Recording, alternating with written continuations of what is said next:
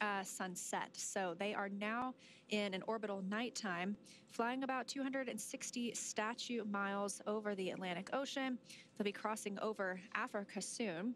And we're continuing to see Dragon get closer to the International Space Station, now about 17 meters away from the docking port. Uh, this is a pretty cool view, as you can see a camera coming from Dragon and focusing on the docking port itself. So it looks like we are properly aligned, standing by for the arrival of Crew 9 to the International Space Station.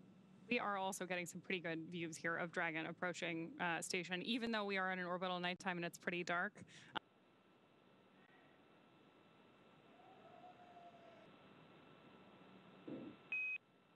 Freedom SpaceX on the big loop, soft capture confirmed.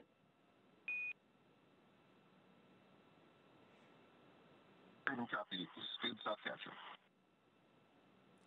Crew 9 has arrived to the International Space Station, docking confirmed at 4.30 p.m. Central Time, 5.30 p.m. Eastern Time over Botswana.